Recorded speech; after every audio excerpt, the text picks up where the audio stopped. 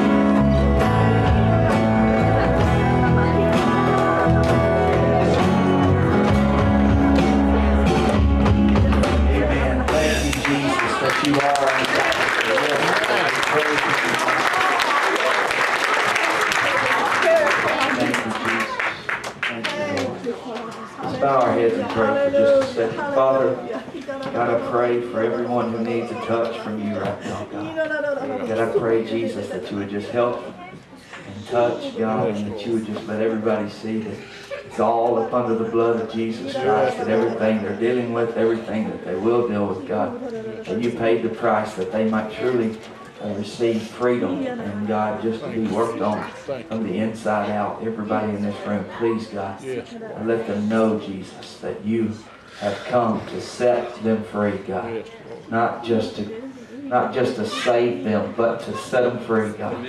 So God, please let them all walk in victory. Let them know that victory is forever. In Jesus' name we pray. Amen.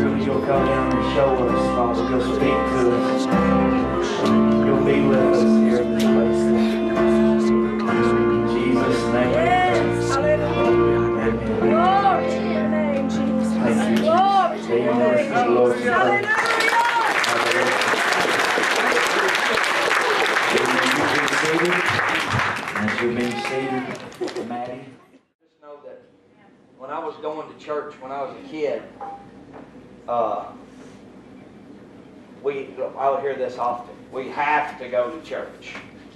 Y'all ever heard that before? Some of y'all said it to your kids. We have to go to church today. Wow, I'm tired. I don't want to go to church. We have to. Like, God's going to strike you down if you don't. You know, like, like He's going to be mad at you if you're not here. You know, like he, we have to instead of like we want to.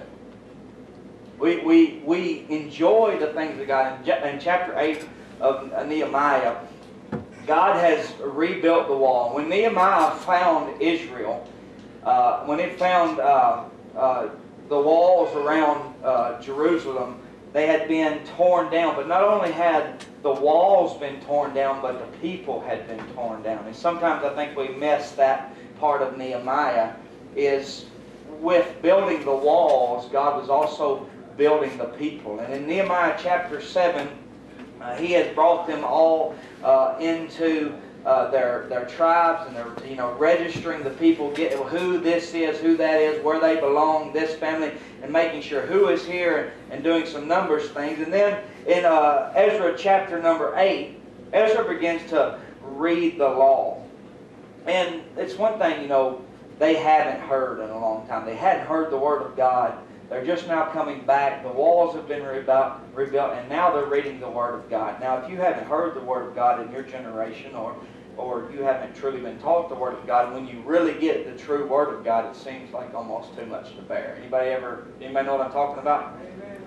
Like when I preach on Sunday, I know some of you are overwhelmed um, by what I say and by what God expects, and that's okay. It's all right. So it's okay to um, think, how in the world am I going to do that? Because with the help of the Spirit, you're going to be able to. And, and these people in, uh, in Nehemiah chapter 8, they were overwhelmed. It says in October, when the Israelites had settled in their towns, all the people assembled with a unified purpose at the square, just inside the water gate. They asked Ezra the scribe to bring out the book of the law of Moses. When the Lord had given uh, which the Lord had given to Israel to obey. So the Word of God is meant to obey, but they didn't know the Word of God. They didn't know what the Word of God said. This is the first five books, probably, of the Old Testament, the Pentateuch. This is the, the books of Moses. They are bringing out, and Ezra the prophet, Ezra the scribe, is going to be reading the Word of God. They are going to be doing uh, what they should have been doing all along, teaching uh, the Word of God. So then just get this picture. Everybody's gathered and they are watching, they are attentive, they are listening to every word that Ezra says. So on October the 8th, Ezra the priest brought the book of the law before the assembly, which included the men and the women, the children old enough to understand.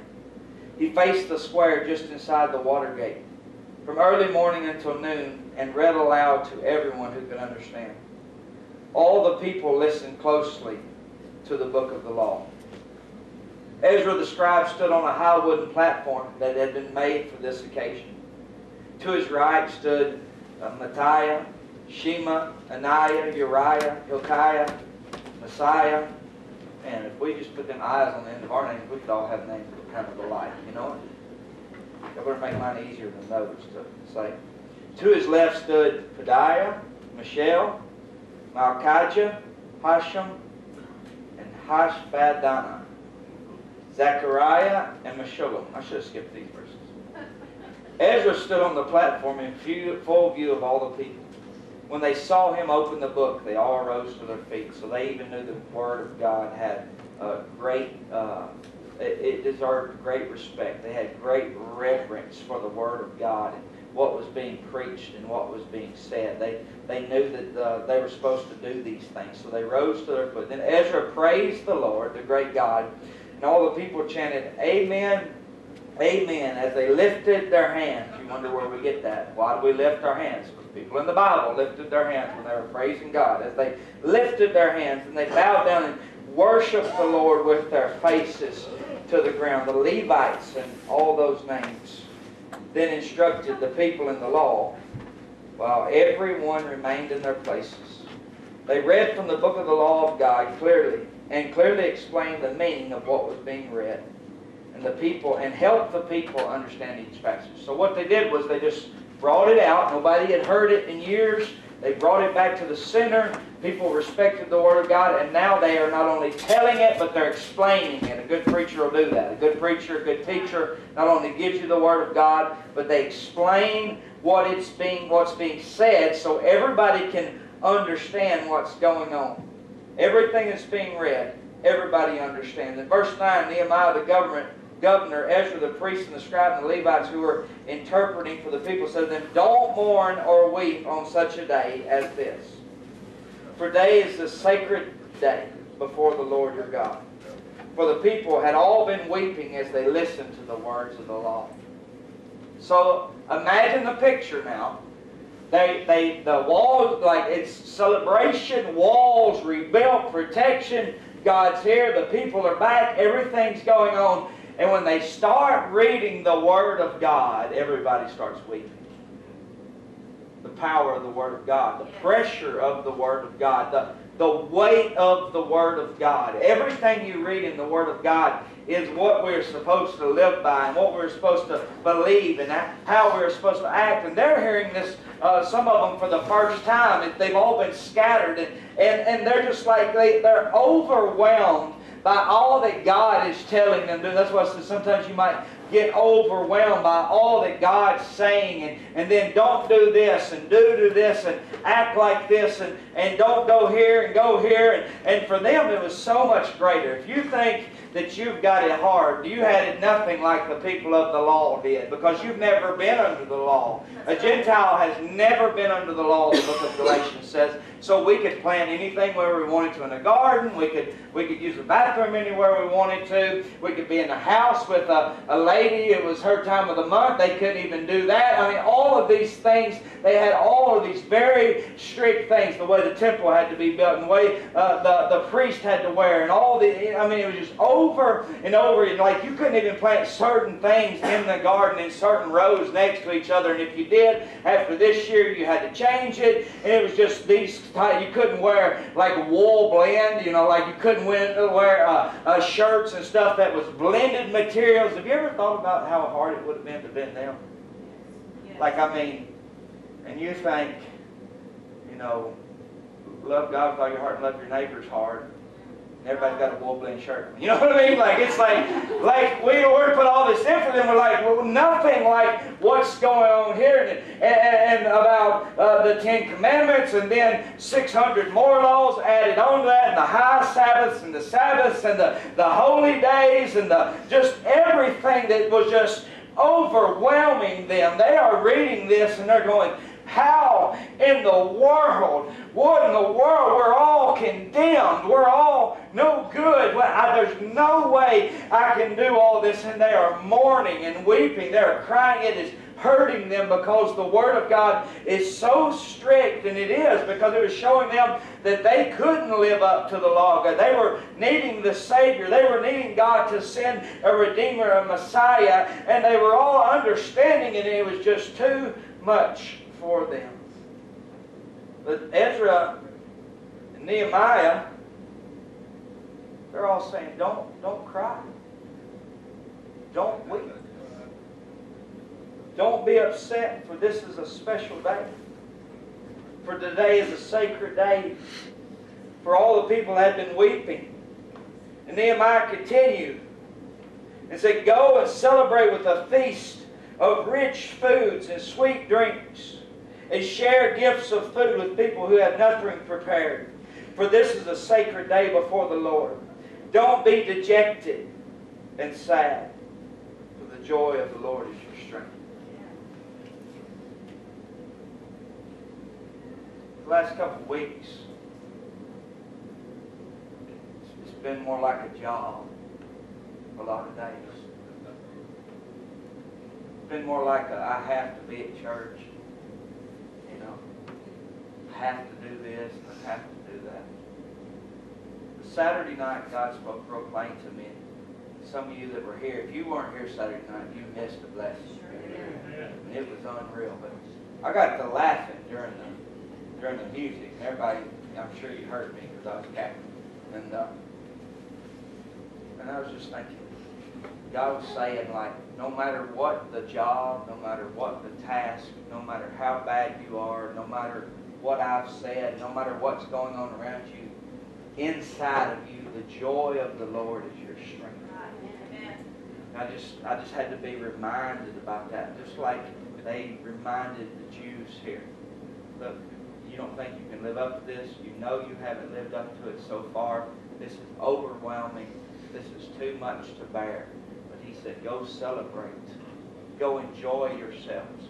Go, you know, like Solomon, eat, drink, and be merry. Have a good time. And understand the joy of the Lord is your strength. To say, hey, how can you say that? when all this stuff's going on, when all this stuff in my life, you don't understand what I'm going through. You don't understand where I'm at in order, and you're telling me to have joy in the Lord and, and, and in His strength to be lifted up. You just don't understand where I'm at. Yes, I do understand where you're at. And what you're doing is you're elevating the situation over the Savior. Like you're looking at this thing in front of you and you're going, oh my gosh.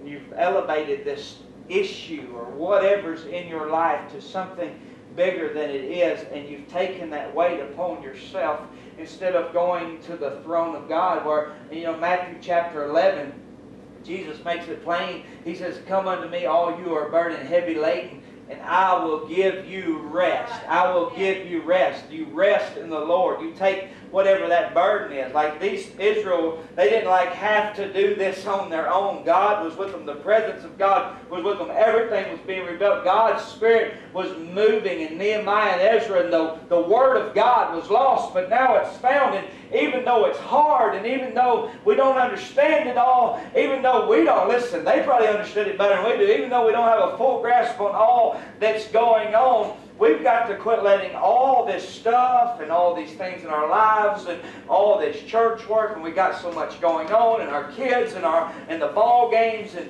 it's just like we're just wide open. We get drugged down. God's saying, let my joy be your strength. What's inside of you makes a difference. Whatever you're feeding is what's going to be the strongest. You ever heard that? So if you're feeding your habit, your habit's the strongest. If you're feeding pes, how you say that? Pessimism, pessimism, pessimism. Good word? If you're feeding that, you're going to be pessimistic. If you're feeding anger, you're going to be angry. If you're if you're feeding doubt, you're going to be doubtful. If you're feeding faith, you're going to have greater faith. If you're feeding joy, it's going to be joy unspeakable and full of glory. If you're feeding the, the patience, the long suffering, the things of the Spirit, if you're being fed by the Spirit, the things of the Spirit are growing inside of you and they are going to come out of you. And then it's just like yeah, I've got to go to work Monday, but I don't have to. I want to because I know that what God has called me to do is a great thing, and He's going to enable me. And then I started getting back into the places where I just sought God and I worshiped God and I spent time with God, and, and, and then like that's all I want, that's all I need, that's all I've ever needed. I don't need anybody. I just need Him, and I need His Spirit, and I need Him in the morning in the closet space in order for me to just be full of the glory of God and do what I have to do as your pastor, no matter what in the world anybody else does. I have to feed that inner man. I have to feed that spirit man. I have to get back to the place where the joy of the Lord is my strength. Most of the time, a lot of people don't give encouragement, right? Most of the time, people aren't patting you on the back. Most of the time, you know, I just expect you to do what you're supposed to do. I'm trying to get better at encouraging. I promise. I'm not real, I'm not doing real good right now, but I'm, I'm getting better. I think. Uh, but I just want to encourage you tonight to press into God and don't you don't have to go to church. Don't come to church because you have to. You don't have to serve the Lord. You don't have to give an offering. God would rather you not give it. If you're going to be mad when you give it, just keep your two dollars when you get right with God, you'll give a 20 instead of 2. I mean, think about these things. You don't have to. I go to church three times a week. No, please don't. Please, please don't. Please, just come once. And when you get right with God, you'll enjoy the other two times. You know what I'm saying? Like, like I gotta, I got, oh, you know, oh, But it's just like, man, you know, and we just rob, and then you rob the joy of other people, and everybody's like, what's wrong with them? And we come here to get built up, and we get tore down. You know, we got to get to the place where the inside of us is just as real as the outside of us, and the smile on our face is not one we put on when we come through the back door, but we are actually resting in the, the joy of God that we are celebrating. When's the last time somebody let's go celebrate Jesus? I gotta go to church. No, you don't. You're messing up the spirit with that attitude.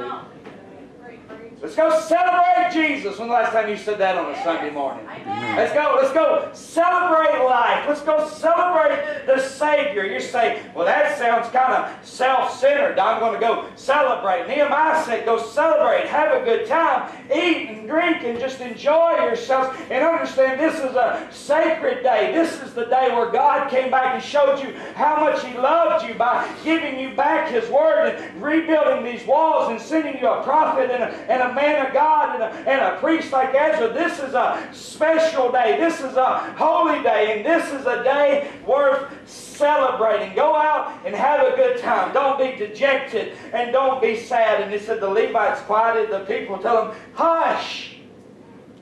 Quit mourning. Quit weeping. Be quiet. For this is a sacred day. So the people went away and ate and drank at the festival meal to share gifts of food and celebrate with great joy because they had heard God's word. And when you hear God's word and you understand God's word, no matter what position you're in, whether you've got it all figured out or whether you're at the bottom of the ladder just fixing to climb up it, no matter what's going on in your life, when you hear the word of God and understand the word of God and those things go on in your life, it's reason to celebrate to know God loves me. God loves me right where I'm at.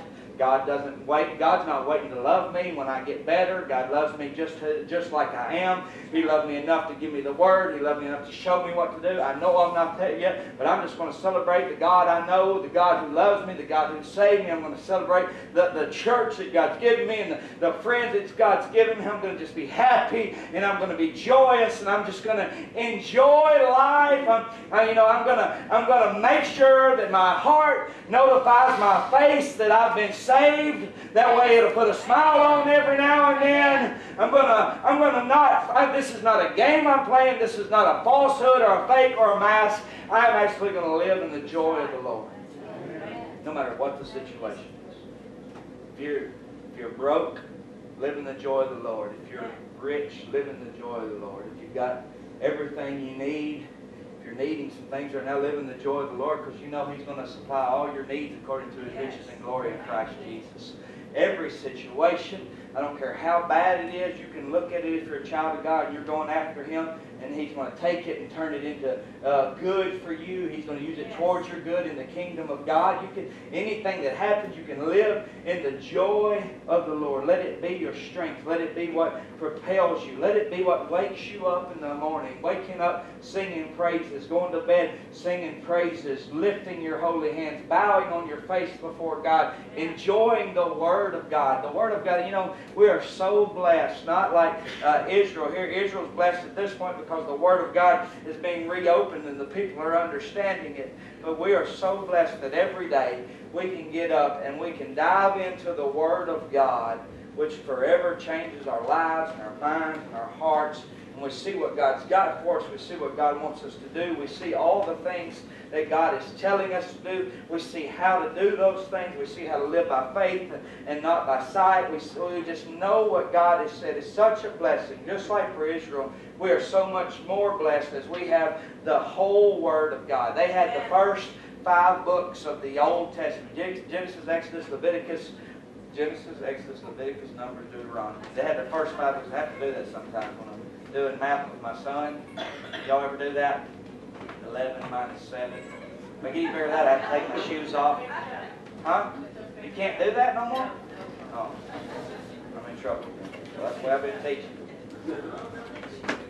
Just think about uh, what God's doing in your life. And God gonna have to help me with math, if I'm gonna help my children. I know that. I'm not real good at it. But I just want to encourage you, enjoy life. Enjoy the Lord. Enjoy each other. Quit crying and weeping. Quit, quit being dejected and thrown down. And, oh, poor me, and woe is me, and can't, I can't believe. Oh, it's just, just listen. Trust the Lord. Lean not to your own understanding. In all your ways acknowledge Him, and He will direct your path. Trust the Lord. Trust the Lord. Trust the Lord. And let His joy be your strength. It's time for a bunch of happy Christians to enter into the world. Instead of all the ones who've had to do this, have had to do this. I'm tired. I don't want I don't want to have to be your pastor. I want to enjoy being in your pastor. You know what I'm saying? I don't want you to have to come to church. I want you to enjoy coming to church. I just feel like sometimes we get so legalistic with all of this, where it's got to keep this, got to keep this, got to do this, but we forget it's about relationship with Jesus. When you get relationship right, that other stuff will work itself out, and you will live in the joy of the Lord. The joy of the Lord will be your strength. He will just keep working in you. What God has started in you, He's going to finish, is what the Scripture says. What He's doing for you, He's got your best interest in mind in His kingdom. Everything that God's ever said, if you look at what you're going through through the lenses of God's Word, then with a smile on your face and joy in your heart. See, joy is fruit of the Spirit, right? Is that right? Amen. So if the joy of the Lord is your strength, and you can't get joy, that means the Spirit is not full in your life. Joy of the Lord is our strength. The fruit of the Spirit, the Holy Spirit of God resting inside of you, gives you peace, joy, patience, long suffering, kindness, and goodness. What else? Gentleness, meekness, self-control. Man, that's the best one right there. A lot of people say, I just couldn't help it. Yeah, you can. If you got the Spirit, you can. Temperance.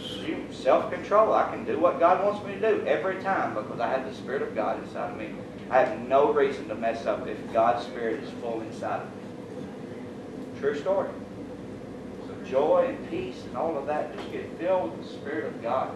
He has sealed you until the day of redemption, and He is constantly filling you as you are pressing into the things of God. He is filling you up, filling you up until you overflow. The things that is in you comes out of you. You live that way in the midst of all the people. It Looked like a bad day for Nehemiah and them. Everybody was weeping, but it was a pretty good one. You say, well, we live in a bad day. Listen to me. No, we live in a good day. Every day we live is a good day to be alive.